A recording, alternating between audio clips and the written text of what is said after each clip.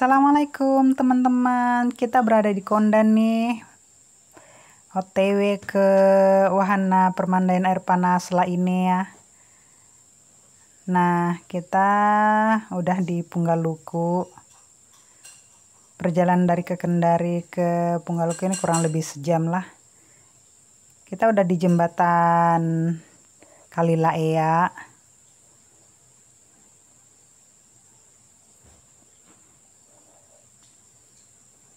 aku mau ngajak kalian jalan-jalan di wahana permandian air panas lah ini ya. Kabupaten Konsel Sulawesi Tenggara. Nah kita sudah masuk di eh, area hutannya ya. Oke, alhamdulillah kita udah sampai nih. Waktu kita tiba tuh, ini belum ada orang masih kita sendiri. Oh ternyata ada gazebo-nya guys.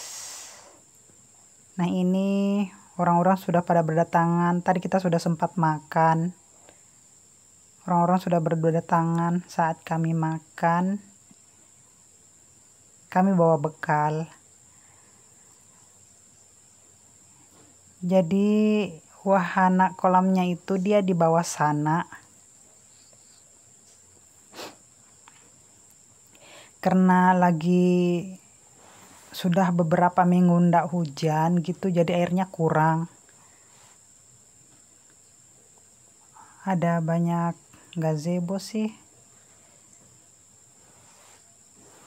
Dan karena airnya kurang jadi rada kabur gitu.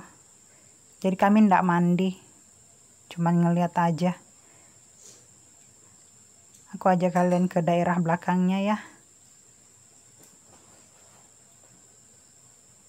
Gak kabur sih.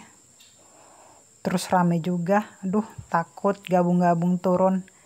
Koronses guys. Jadi kita cuman ngeliat aja. Tuh airnya rada kabur gitu. Soalnya itu lagi kurang airnya curah hujannya kurang. Kita berada di area belakangnya. Di bagian kiri ini ada aliran kali kecil gitu. Katanya sih sumber airnya di bagian depan sana. Terus lagi gitu tapi masih rada jauh gitu katanya. Takut ah sampai di sini aja. Yuk balik.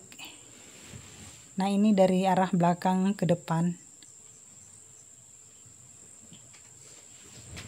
Jadi dia kolamnya cuma satu.